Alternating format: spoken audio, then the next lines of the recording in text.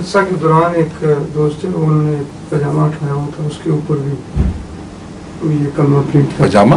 जी पजामा side के suit पहनते हैं बन रहे हैं टेक्सटाइल में तो उसके ऊपर उन्होंने प्रिंट किया हुआ है तो उसको समझाना चाहिए कि ना बड़ी बेदार कर वो लेके कर रहे थे कि ये कंपनी जो है उससे हम एहतजाज करेंगे हाँ।